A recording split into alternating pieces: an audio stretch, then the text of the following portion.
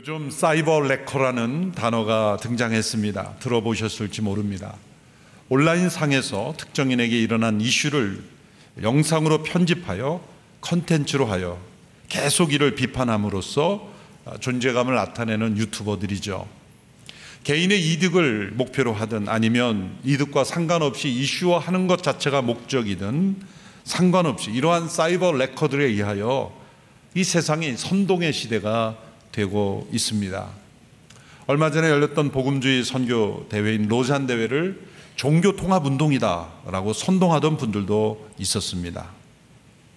CGN에서 아침 집회와 저녁 집회를 생중계로 다 내용을 공개했음에도 불구하고 전혀 들어보지도 않고 아직도 그런 선동을 믿고 있는 분들도 있는 것 같습니다.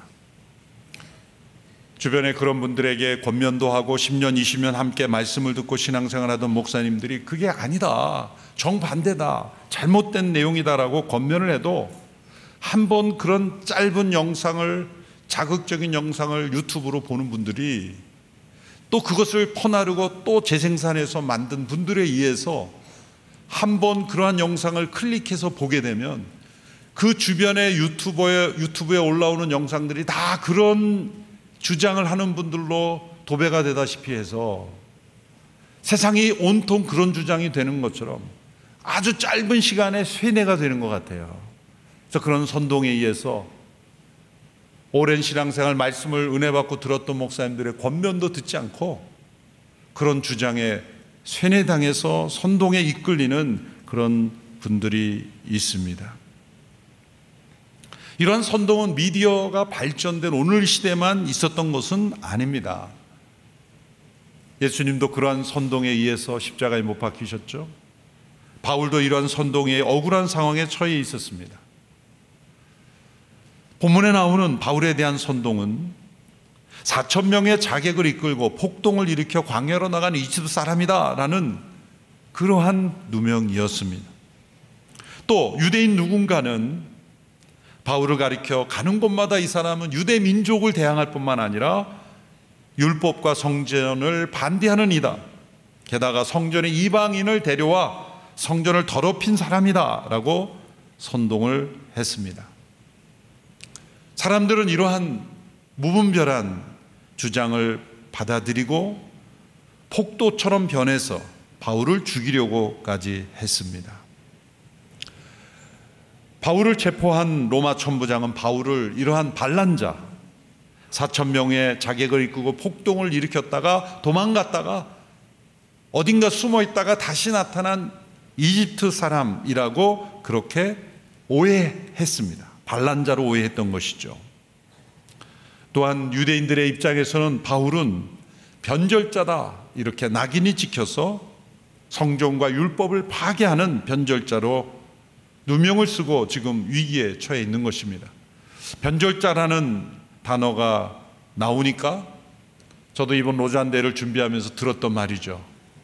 어떤 유튜버가 유기성 목사님과 제 이름을 변절자들 회개하라. 그래서 종교 통합 운동을 주창한다고 그렇게 하고 로잔 대회 행사장 밖에 와가서 그 플랜카드를 붙이고 다행히 외국 분들이 한국어를 몰라서 우리 한국 분들은 다 오늘이 성도님들이고 저를 아는 분들이기 때문에 넘어갔습니다만 그렇게 주장을 하고 들어보지도 않고 그런 주장을 하는 분들이 있습니다. 혹 여러분 주변에도 그런 주장하는 분을 만나거든 따뜻하게 안아주시기 바랍니다.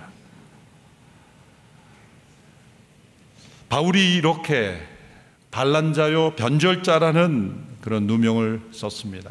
바울이 한 일은 무엇입니까? 복음을 전한 그밖에 없습니다. 예수님이 부활하셨다는 것, 그리고 율법을 온전히 이루신 그분께서 우리에게 은혜 베푸신 그 구원의 복음, 그것을 증거한 것밖에 없음에도 그는 변절자요 반란자라는 그러한 누명을 쓰고 성난 군중들 앞에 위기에 처해 있습니다. 그러한 상황 가운데서도 바울에게 해명할 기회를 주었다는 것. 이것이 로마 제국 통치의 한 면을 그 사회의 모습을 볼 수 있습니다. 성난 군중들 앞에 이렇게 몰려 있는 한 사람을 그 사정을 들어보고 해명할 기회를 주고 판단하는 이 로마의 법 체계가 매우 놀랍지 않습니까? 그 당시에 이렇게 막무가내 식으로 사람을 몰아세워 처형하지 않고 해명할 기회도 주고 궁극적으로는 모든 일을 앞에서 해명할 기회를 반드시 가지게 해주는 그런 법 체계 그것이 로마가 많은 영역을 통치할 수 있었던 그런 통치 원리였다는 걸 우리가 또 알 수 있습니다. 이렇게 해명할 기회를 얻은 바울은 히브리어 말로 품이 있는 정중한 연설을 합니다. 성난 군중들 앞에서조차 그는 감동적인 연설을 통해 자신을 설명합니다. 바울의 연설은 이 선동적인 군중과 달리 감동을 주는 연설이었습니다. 세 가지 이유를 살펴볼 수 있습니다. 첫째로 그 내용이 자신이 단지 위험에서 벗어나기 위한 해명이 아니라 그리스도에 대한 증언이었다는 것입니다. 사도행전 22장부터는 이제 바울의 신분이 죄수로 바뀌죠. 그래서 22장부터 이후의 사도행전을 어느 학자는 존 번연의 Pilgrim's Progress를 빗대서 The Prisoner's Progress다. 죄수의 그런 여정이다라고 부르기도 합니다. 22장부터 26장까지 여섯 번의 자기 해명을 할 수 있는데 예루살렘에서 두 번, 가이사랴에서 네 번 해명할 기회를 얻습니다. 그런데 그 여섯 번의 모든 해명의 과정에서 바울은 저는 억울합니다. 저는 누명을 썼습니다. 어떻게 나한테 이럴 수 있습니까? 그런 말이 한 번도 나오지 않습니다. 오직 그는 그리스도만을 증거하려고 애쓰고 있습니다. 자신이 어떻게 위기에서 벗어날 것인가, 자신이 어떻게 안전할 것인가를 추구하는 그런 호소가 한 번도 없습니다. 사람의 인격, 또 사람의 내면은 억울한 상황을 당해 보면 나타납니다. 억울한 상황을 당할 때 마음속에 억울함이 분노가 되고 그 분노가 증오심이 되고 그 증오심이 복수적인 마음이 되어서 행위로 나타나기도 하는 것이 인간의 마음이 아니겠습니까? 저도 한국 로잔 대회를 준비하면서 변절자다 막 심한 그런 댓글로 욕하는 분들의 보면서 어떤 분이 그 영상을 보내주면서 목사님의 정신 건강을 위해서 잊지 않는 것이 좋겠습니다. 그러면서 꼭 보내요. 정신 건강상 읽지 말라는 거예요. 그런데 읽고 싶잖아요. 아, 보내지나 말지. 그래서 기도하는 마음으로 쫙 읽었더니 아니나 다를까. 엄청난 그냥 모욕적인 말이 쏟아지는 거죠.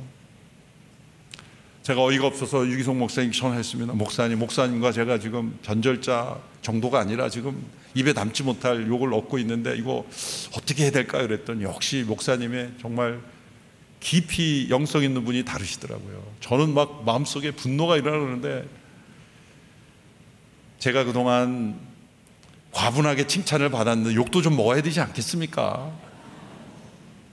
너무 어이없는 그런 말인데 뭐 우리가 반영, 반응하는 것 자체가 너무 그렇지 않습니까? 너무나 고유하고 평안하게. 그래서 제가 유 목사님과 함께 잘 과정을 견뎌냈습니다. 사람은 억울한 상황에 처하면 자기 변명, 자기가 얼마나 의로운지, 얼마나 부당한 것인지를 조금이라도 설명하고 싶을 거예요. 그런데 22장부터 나오는 바울의 모든 발언을 보면 오직 예수님 그분만을 증거하는데 초점을 두고 있다는 그것이 감동이 아닙니까?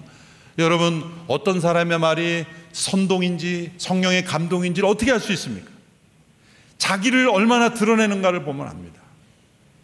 자기를 드러내는 사람, 자기의 주장이 무조건 옳다고 하는 사람은 선동이며 그러나 자기를 부인하고 예수 그리스도 그분을 바라보게 하는 것은 성령의 감동입니다. 둘째로 그 내용을 보면 그리스도를 만남으로 인해서 자신에게 일어난 놀라운 변혁을 말하고 있기 때문입니다.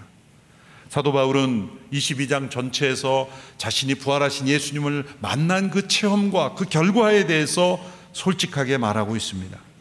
자신의 현재의 모습은 유대인에 대한 변절도 아니요 이 로마에 대한 반란도 아니라 변혁이다. transformation이다.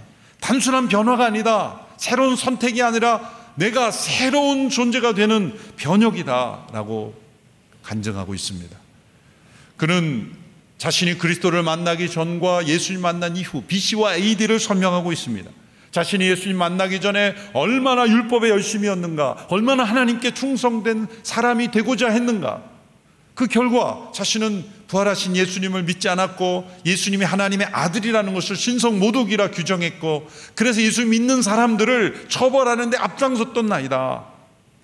그런데 담에색으로 가는 길에 강렬한 빛이 나에게 비쳤고 나는 잠시 눈을 멀었고 음성을 들었고 부활하신 주님을 만났고 바로 사울아 사울아 내가 왜 나를 핍박하느냐라는 그 음성을 들었고 자신은 한 번도 부활하신 예수님을 살아있다고 믿지 않았는데 살아계신 그분을 직접 만났고 그분이 나를 부르셨다라는 이 강렬한 체험, 부인할 수 없는 이 체험이 있었다는 것을 간증합니다.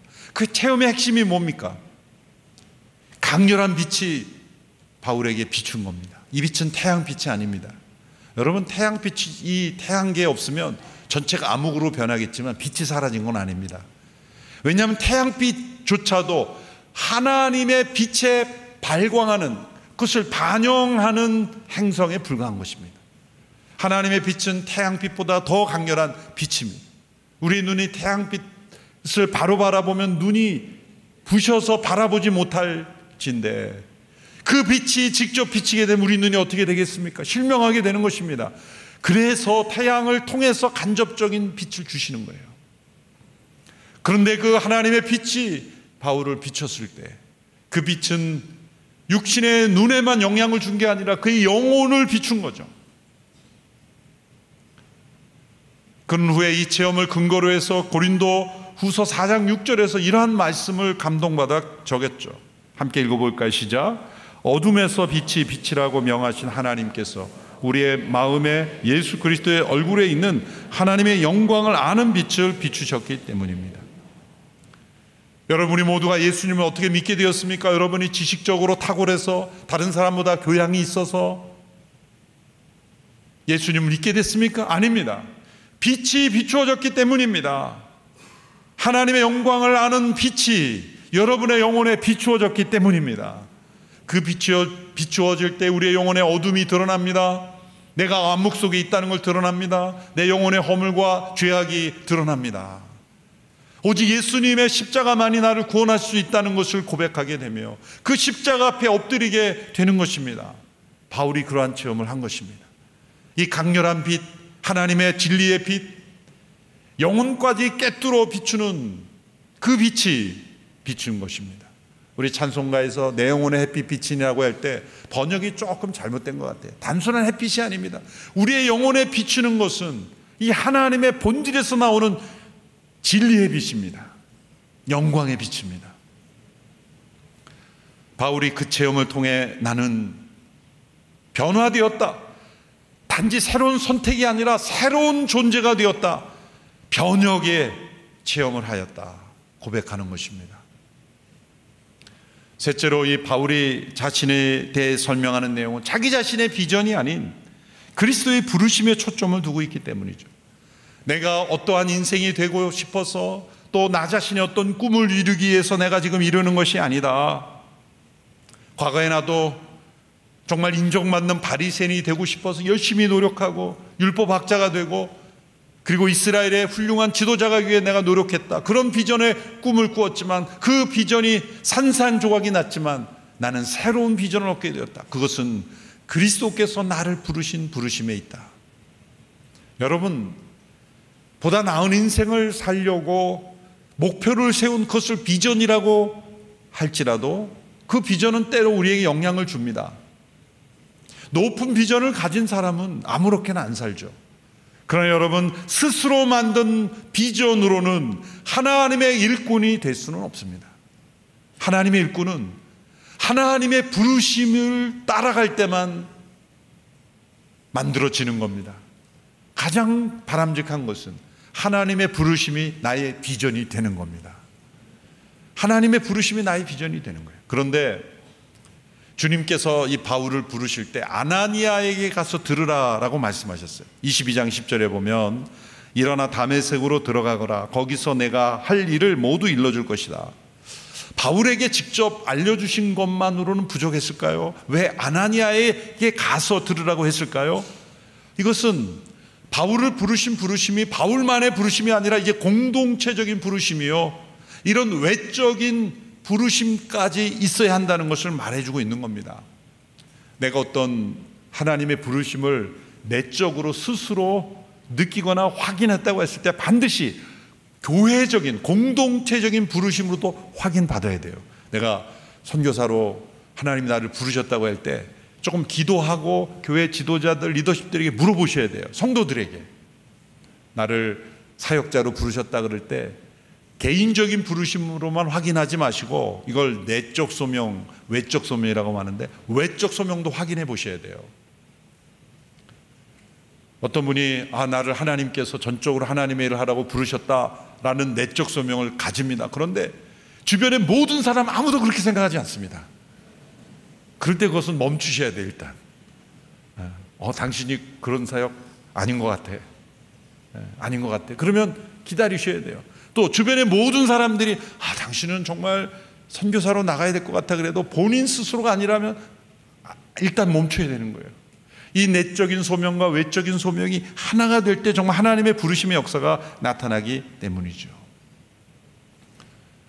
바울은 오직 자신의 어떤 꿈과 비전이 아닌 하나님의 부르심, 주님의 부르심에 온전히 순종하는 그런 상황 가운데 내가 여기에 이르렀다. 바울의 이 진실하고 정직하고 감동적인 자기 고백이 오늘 우리에게 참 큰 감동이 됩니다. 이 세상은 선동의 시대입니다. 그래서 참 억울하게 힘들어지는 사람도 참 많죠.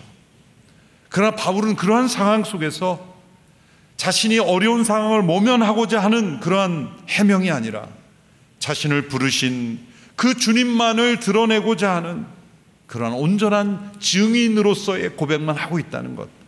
그것이 우리에게 감동을 주는 것입니다. 이런 선동의 시대에 그는 성령의 감동을 보여주었습니다. 아무리 세상의 선동에 휩쓸려도 부활하셔서 살아계신 그리스도를 붙잡고 그분의 부르심에 충성스러운 사람들은 휩쓸리지 않을 수 있음을 믿습니다. 무엇이 진정 따라야 될 길이고 무엇이 진정 따르지 말아야 될 것인가 분별하기 어려울 때가 있습니다. 그 분별의 기준은 무엇입니까? 자신을 드러내는가 아니면 그리스도를 드러내는가 여기에 있습니다. 우리 모두 그리스도의 부르심에 사로잡혀 세상의 선동이 아닌 성령의 감동을 따라 살아가는 우리 모든 성도들이 되기를 축원합니다. 기도하겠습니다. 살아계신 하나님 아버지 사도 바울의 죄수로서의 여정을 보면서 자신의 모든 억울함에도 불구하고 오직 그리스도만이 드러나고 그분만이 증거되기를 소원하였던 그 사도 바울의 간절한 증인의 삶을 본받기를 원합니다. 우리 모든 성도들 삶의 상황 속에서 오직 예수 그리스도 그분만이 나타나는 그리스도의 담대한 증인으로 쓰임받게 하여 주시옵소서. 예수님의 이름으로 기도함나이다. 아멘.